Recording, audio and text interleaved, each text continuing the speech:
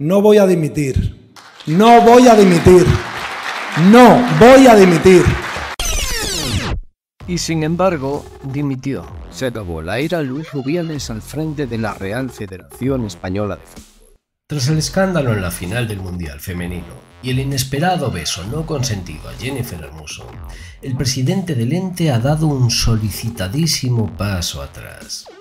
A menos de tres semanas de asegurar que no dimitiría insistentemente, ayer nos sorprendía con un anuncio en sus redes sociales. Y como si de un acto de justicia poética se tratase, Jennifer Hermoso se encontraba en el polo opuesto en el mismo momento en el que Rubiales dimitía. Su club Pachuca, en México, la homenajeaba por ser la campeona del mundo.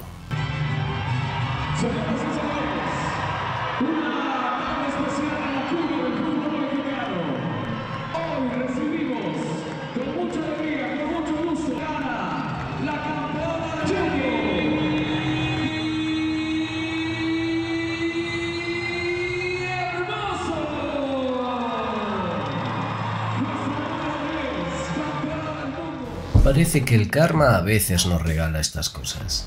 Celebremos que por una vez se ha hecho justicia.